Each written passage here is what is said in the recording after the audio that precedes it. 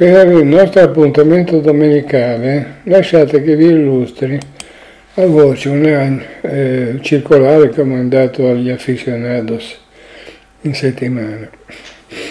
Eh, alla mia pensione ci penso io, è una newsletter che è sul, sul, diciamo, sulla scena da ma credo vent'anni. Eh, per cui diciamo eh, eh, il messaggio è che eh, alla domanda ma io riuscirò mai ad andare in pensione? E soprattutto con quale ammontare di denaro io eh, riuscirò ad andare in pensione? Senza morire di fame, eh, la, questa newsletter tenta di rispondere dicendo eh, delle cose che sono, credo, molto sensate. Eh, eh, diciamo questa, questa circolare è stata mandata perché è nata una versione però di questa newsletter. Eh, allora, qual è il punto fondamentale? Il punto fondamentale è che quando si parla di pensione, soprattutto in un momento che dura da tanto tempo in cui i rendimenti delle obbligazioni sono ridicoli, i fondi comuni hanno dei rendimenti che sono più, più o meno ridicoli anche loro, eh, per cui diciamo non ci sono veramente, non parliamo delle assicurazioni, o delle, delle, tutto quello che è diciamo, di integrativo per la pensione tutto, ha tutti rendimenti ridicoli. Eh, ecco, in tutto questo si dimentica che il posto più sicuro e profittevole dove mettere i soldi, l'ho scritto qui, sono le azioni delle aziende di cui compro i prodotti. Perché? Ma perché se io, se io compro i, i, loro prodotti, se compro il dash per lavatrice della Procter Gamble, vuol dire che il dash per lavatrice è un prodotto buono, anzi è un prodotto ottimo, eccellente, eccezionale, per quello che deve fare ovviamente, cioè lavare la biancheria. Eh, eh se eh, questo è vero, e probabilmente, come è vero, il dash per lavatrice è il, leader di mercato, è il prodotto più venduto.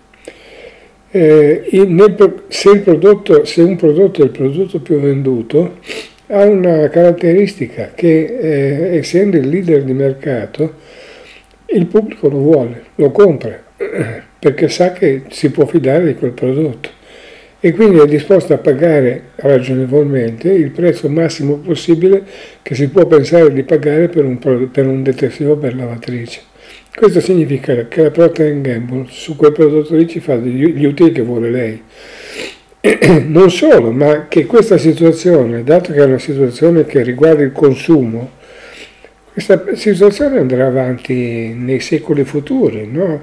È molto difficile scalzare un leader di mercato.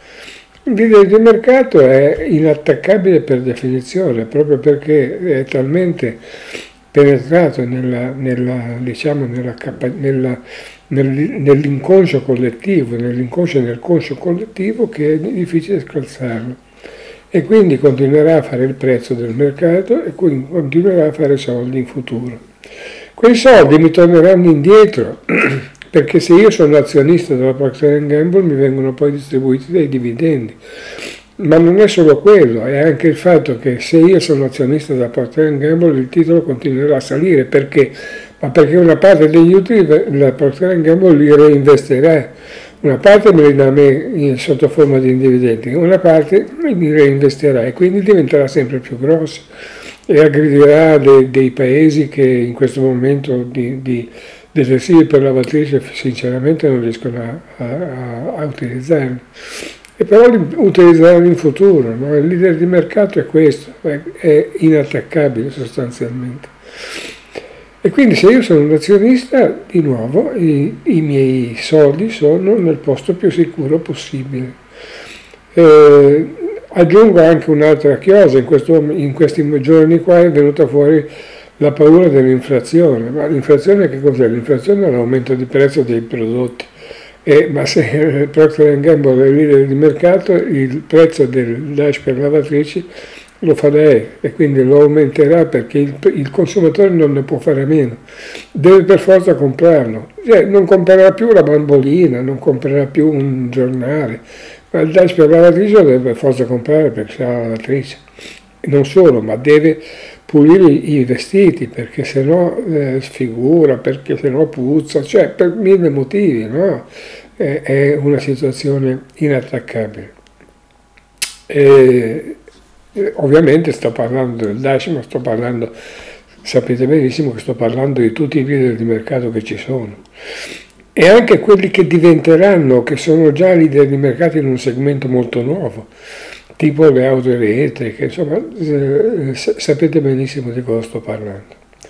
Dov'è l'inghippo? Eh, chi vi vuole vendere un prodotto che non rende niente ma che ha un rischio che è ben nascosto, come sanno milioni di risparmiatori, quelle robe lì vi dirà che le azioni sono rischiose, eh, intendendo dire che il prezzo varia giorno per giorno. Sì, questo lo sappiamo benissimo, ma questo non, non vuol dire rischio. Questo, eh, il rischio è che, che il, il, il, titolo, oscillando, oscillando, però magari a un certo punto continui a scendere, continui a scendere inarrestabilmente. Faccio la fine, che ne so, di, di, di, di Parmalat, tanto per fare un nome qualunque, no? E beh, questo, questo sì, questo c'è, però sappiamo anche come controbattere a, a, questi, problemi, a questi rischi, no? diversificando il, il, il, portafoglio e soprattutto andando a cercare dei titoli che eh, non sono chiacchierati, no? non sono chiacchierati perché sono pieni di debiti, parliamoci chiaro, Parma era piena di debiti, si sapeva da lungo tempo che aveva dei grossi problemi. per cui il, la ricetta è quella, rischi... Eh, Titoli, grandi titoli, grandi titoli buoni, tanti. è tutto così facile allora? No, non lo è, perché bisogna, tanto per cominciare, eh, sapere che vogliamo comprare Procter Gamble e perché lo vogliamo comprare.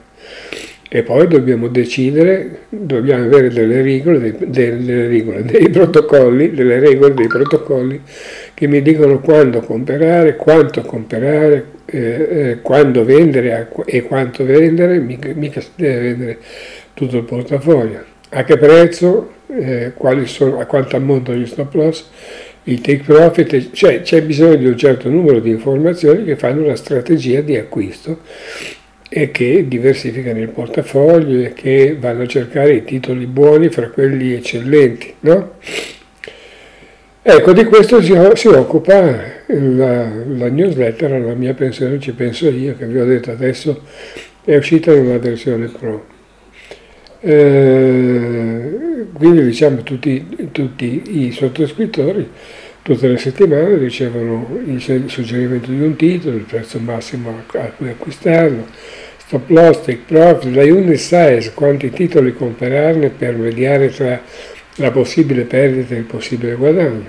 Se vengono usati degli screeners particolari in Pro Real Time, questi vengono, vengono eh, regalati, vengono eh, inclusi nella, nella, nella, newsletter.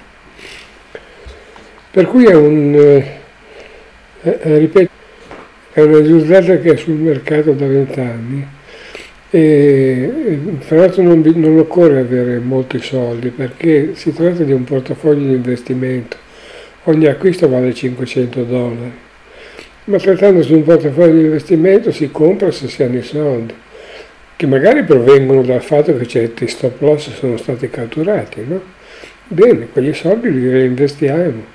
E poi, vabbè, se non ho i soldi aspetto, aspetto la, la prossima newsletter. Non c'è mica nessuna fretta. Eh? Eh, tenete presente Tenete presente, l'ho scritto qui da qualche parte, eccolo qua, che nel 2000 Apple si comprava per, per l'equivalente di 62 centesimi per azione, allora il prezzo non era 62 centesimi, 62 centesimi è il prezzo equivalente che tiene conto di tutti i dividendi che ha pagato nel frattempo, quando li ha pagati, cioè negli ultimi tempi, e, ma soprattutto negli aumenti di capitale. Ecco, nel momento in cui scrivo vale 172 dollari. Quindi se uno avesse investito 10.000 dollari allora, oggi possiederebbe 2 milioni e 800 mila dollari. Attenzione, li vedrete mai nella vita 2 milioni e 800 mila dollari?